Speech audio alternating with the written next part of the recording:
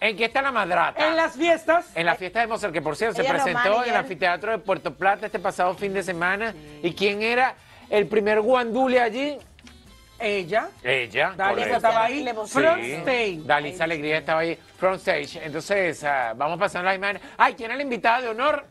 Meloni. Tu mermelada, mi amor. La peor enemiga de Alexandra y la mejor Bueno, amiga ahora de. Dalisa. Ahora le fue muy bien a Mozart La Para en Sí. ese concierto del anfiteatro de Puerto Plata. La primera dama. Que ella era la sensación del bloque. ¿Por qué? Por bella. Mozart es haciendo sus temas arriba, su Le vocearon, performance. no, no, no. Y a ella la vociferaba más de 15 veces. Ajá. Que pude yo observar. en Hay imágenes. otra foto por ahí de Foto, ella. foto, foto, video con Déjame ella. decirte Mira en primera plana. que también hubieron haters que le vocearon cosas. Hubo haters. Claro, que le vocearon sus cosas. ¿Es verdad? Ay, ¿Del Tigre de Sangre claro, MVP? Porque ella bajó el cristal y tú supiste, ¿verdad? Ah, ok, fuera de allí del concierto. Tenemos un video de ella ahí llegando. Claro. hay un video donde ella se para gentilmente, Ajá. que una- alguien le pide también foto y ella se detiene, feliz. ella. Mira a Sí. mami Sí, es que acompañando a cuando papi. se meten en pareja, tú sabes que eso es hecha libra. Sí, está más llenita. Pero ella está bien.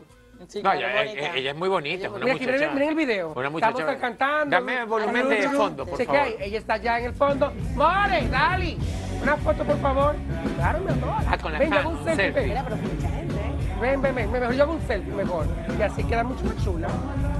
Can. Es que Dalisa es muy buena gente, afable, decente. Eso sí tiene ella.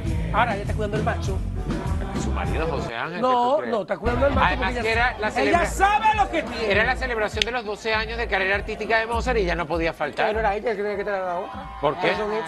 La que se chupó sus 10 años de carrera. La que Pero lo ayudó. es, José Ángel, tú te estás volviendo loco. Obvio. Es verdad que eres amigo de Alexandra, que- pero no me pidas que Señores, que- aquí la otra. Como y- dice el dicho, uno no sabe para quién trabaja, porque la otra se mató 10 años de su vida, se le entregó para que él siguiera famoso, entonces la otra Pero mira, la que- y lo encuentra hecho bonito y todo. Ay, no, la por que trae no turno es esto, no- no- lamentablemente. No, no, mata por Esta nadie. es- y él ahora, te voy a decir una cosa, como digo una, digo la otra. Mm. Mozart se ve feliz, Sí. con una alegría en su rostro. Y mucho